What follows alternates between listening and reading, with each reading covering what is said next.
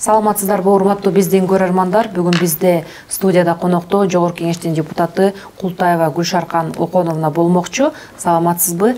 Сиз э, мыйзам долбоорун демилгелеп чыктыңыз мамлекеттик жөлөк пулдар боюнча ал коомдук талкууга кеңеш kg сайтына жайгаштырылды ошол сиз демилгелеп жаткан мыйзам долбоорунун максаты деги эле эмнени көздөйт анан бүгүнкү күндө кыргызстанда үч жүз токсон бир миң жаран жөлөк пул алат экен да алардан айырмачылыгы өзгөчөлүгү эмнеде ошого токтолсоңуз?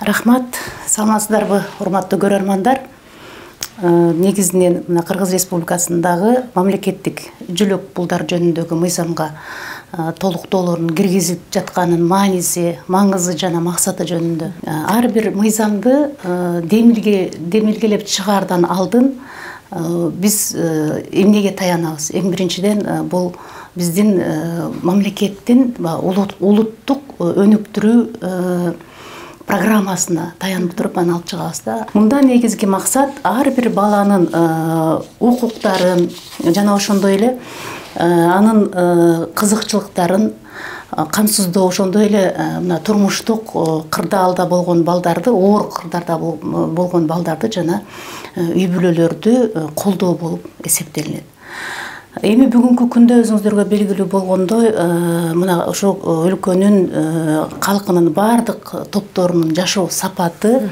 жана ошондой эле тең укуктуулугу тең укуктуулугун сактоодо мамлекеттик саясат э, мындай мамлекеттик саясат жүргүзүүдө мындай кемчиликтер жок эмес да бар негизинен мына ошол программанын алкагында бизде ошондой катмардагы топтор адамдар дагы артта калбаш керек деген максат менен ушул жалпы коомдун өнүгүүсү жана ошондой эле аларды колдоо багытында ушул мамлекеттик кепилдиктер жөнүндөгү мыйзамга өзгөртүү киргизүүнү сунуштап жатабыз. Бул мыйзамдын мыйзамда негизги максат мына ошол жөлөк пул алып жаткан биздин жарандарыбызга бир жыл сайын кошумча жөлөк пул чегерүү. Бул кантип чегерилет? Мен сизге азыр мунун эми маанисин түшүндүрүп берейин. Сизге максаттарын айттым. Мааниси бул мисалы мамлекеттик жөлөк пулдардын түрлөрү бар да. Бул деген балага сүйүнчү үй бүлөгө көмөк жана ошондой эле социалдык жөлөк пул ата энесин экөө тең ажыраган балдарга берилүүчү жөлөк пулдар болуп эсептелинет мына ошого мамлекеттин өзүнүн деңгээлине жараша акча төлөнүп турат.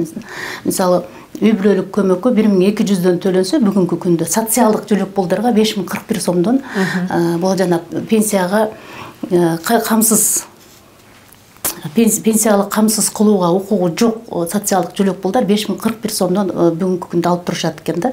Мунун мына канча саны бар экенин дагы мына ошол жерде негиздемеде да жазып көрсөттүк. Ушул эле алып аткан мына ушул алып аткан акчалар он эки айда ай сайын алышат алышат.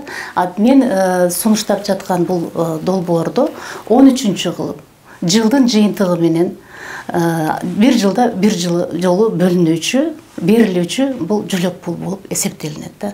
Анткени өзүңүздөргө эми мындай белгилүү болгондой кандай бир компаниялар болобу же мамлекеттик ишканалар болобу жыл жыйынтыгын чыгарат да. Жыл жыйынтыгы жакшы чыккан чыкканда ошонун шартына жараша э, жерде иштеген жумушчуларгабы же кызматкерлерге жылдын жыйынтыгы менен премия катары төлөп берилет же он үчүнчү айлык кылып беришет да. Толуктап э буга чейинки алып аткандарын эсептеп толугураак эми анын өлчөмүн өлчөмүн ал жерде биз жаздык өлчөмү кандай болуп төлөнөт? Бул төлөнүүчү бюджеттин мүмкүнчүлүктөрүнө жана ошондой эле экономикалык экономиканын абалын эске алуу менен министрлер кабинети аныктайт деп жаздык да. Эми ошол эгерде ай сайын мына жөлөк пул канча алып аткан болсо ошондой алышы мүмкүн. Же эгерде биз профицитке чыктык деп өкмөт мына неме кылып көрсөтүп атпайбы ошол мезгилде анда биз ошол экономикалык абалга тууралуу ар бири жылына бир жолу чегерилиш керек. Ооба эми азыр дүйнөдө деле инфляциянан кийин инфляциянын деңгээли аябай байкалууда и ошондой эле кымбатчылык болуп атат баардык бир гана азия өлкөлөрүндө эмес негизи эле дүйнөдөчү ошого карата дагы сиз ошо жашоо минимумунан жок дегенде кичине бир аз болсо да аларга жагымдуу шарт түзүү багытында демилгелеп жатасыз да мыйзам долбоорун туура. Анан ошо жөлөк пул алган жарандардын баардыгы ошондой укукка ээ болууга укуктуу да анда э бул мыйзам долбооруна ооба бул бул мына ушул бул жерде сунушталган редакцияда мисалы биз мына ушул мамлекеттик жөлөк пулдар жөнүндөгү мыйзамдын бешинчи беренесине мына бешинчи кылып киргиздик бул жерге пенсиялык камсыз кылууга укугу жок адамдарга он алты жашка чейинки балдары бар муктаж жарандарга жана үй бүлөлөргө жана ата энесинин экөө тең жок балдарга жыл сайын жөлөк пул анан сиз туура белгилеп айтып өттүңүз жашоо минимуму мына жылдан жылга өзгөрүлүп атат.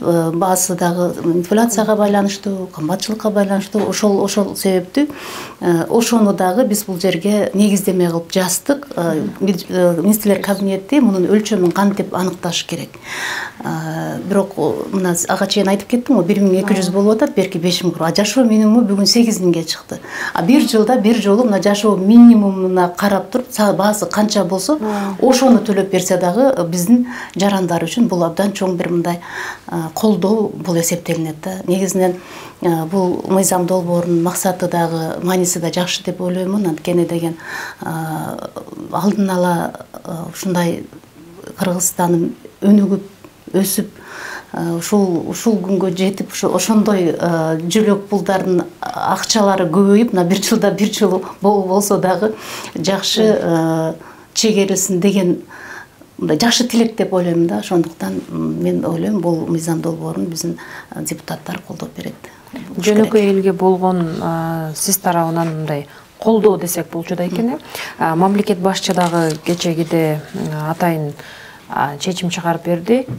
Жана кароосуз калган ата энеси жок балдарга беш жүз миң сомдон берилет бирок алар он сегизге чыкканда алууга укуктуу болот. Ал бир гана билим берүүгө же үй алууга колдоно алат дейт да. Себеби орто жолдо калбай ал балдар дагы келечекте бир эмеге коомго пайда алып келген жаран болсун деген ниет менен колдоп берди. Сиздин дагы ошо жөлөк пулуңуз ошолорго тиешелүү болуп кетет экен себеби карапайым калктын жашоо шартын жакшыртууга багытталган. Аны айтсаңыз эгерде бул мыйзам долбоору ишке ашып калса кандай бир натыйжалуу алгылыктуу шарттар түзүлүшү мүмкүн мен ойлойм бул биз коомдо мына болгондо ар баардык тараптан өнүгүшүбүз керек. Биз эң башкысы мына ушул муктаж мүмкүнчүлүгү чектелген жарандарыбызга жана балдарга ошондой эле мындай калктын аярлуу катмарына дагы кандай гана мыйзам болбосун аларга колдоо көрсөтүп биз өзүбүз менен чогуу мына өсүп өнүгүп чогуу алып жүрүү бул ар бир мамлекеттин милдети болуш керек деп ойлоймун андан сырткары мына кийинки муунга дагы биз ушул мына мыйзамдарды жазып калтырсак кийинки башка иштеше иштей турган муун келген мезгилде дагы мына биздин мамлекеттин милдети бул түздөн түз ушул калктын аярлуу катмарын колдоо болуп эсептелинет деген бир мындай адатты калтырышыбыз керек да. Ошондуктан мен ойлойм бул мыйзам калк үчүн жакшы иштеп берет деп ойлойм. Гүлшаркан оконовна атайын бизге убакыт бөлүп ошо мыйзам долбоору аркылуу маалымат бергениңиз үчүн сизге чоң рахмат. Рахмат сиздерге урматтуу биздин көрөрмандар эгерде сиздерди кызыктырган суроолор болсо мыйзам долбоорлору мындан сырткары жогорку кеңештин депутаттарынын жолугушуулары токтомдор тууралуу кенен маалымат алууну кааласаңыздар биздин кеңеш kg сайтыбызда баары камтылган. Ал эми ютубта жогорку кеңеш деген баракчабызда баары онлайн трансляцияда көрсөтүлүүдө. Бизге катталууга чакырабыз. Саламатта калыңыздар.